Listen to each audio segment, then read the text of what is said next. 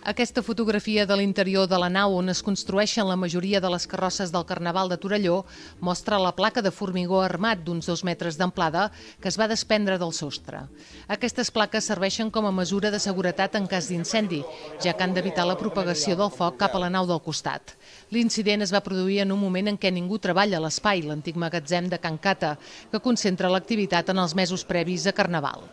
L'Ajuntament està analitzant quin o quins motius van provocar la caiguda de la placa i ha canviat el pany de la instal·lació per evitar que ningú hi entri sense el coneixement del consistori que es havia tret unes parets doncs, que, que per sortir una carrossa que, que, que els propis carrossaires o amb la brigada ho havien remenat, sembla que no és només aquesta causa o que aquesta poder no és la causa i que n'hi ha d'altres. Eh? Per tant, és una cosa doncs, que, que hem de mirar bé de per quin és el motiu, hem de mirar la resta de la nau com està i la mesura que s'ha pres de moment doncs, és de canviar els panys i que ningú hi pugui entrar i que en tot cas si algú hi vol accedir-hi o vol anar a buscar alguna cosa que hi pugui tenir que s'adreci a l'Ajuntament que l'acompanyarem i podran anar a buscar doncs, el, els objectes que hi puguin tenir.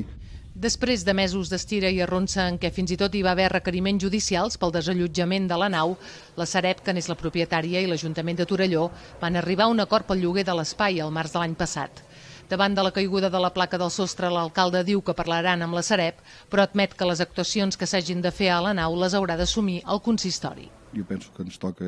una mica nosaltres com a Ajuntament mirar de, de prendre les mesures de seguretat que toqui perquè doncs, eh, si n'hi ha més d'aquestes plaques que encara n'hi queden, assegurar que no tornin a baixar o que no baixin les que queden i aquestes doncs, veure quin, quina, quina funcionalitat se'ls dona doncs, eh, i com s'arregla i se soluciona en cas d'incendi que no, no passés el que ara passaria.